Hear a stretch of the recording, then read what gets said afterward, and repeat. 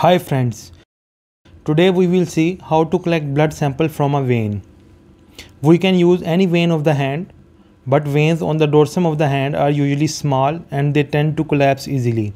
Especially for larger blood samples, use veins on the upper side of the forearm. Gloves are optional and should be mainly used for HCV or HIV positive patients. First of all, tie a tourniquet around the arm then pat the area of the vein. This will make the vein more prominent and engorged. Feel the desired vein with your fingers. Apply the swab from inside towards outside in a circular motion. Let the spirit dry for a while. Then open the syringe and insert the syringe in the vein at about 15 to 20 degrees to the skin.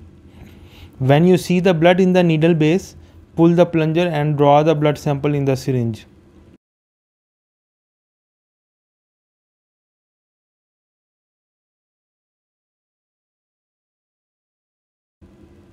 After collecting the blood sample, put and hold a piece of cotton on the point of insertion of the needle and pull out the syringe.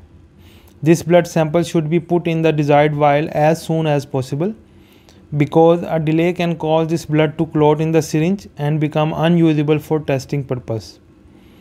After using the syringe, cap it using one-handed scoop method and discard it. Thanks for watching the video.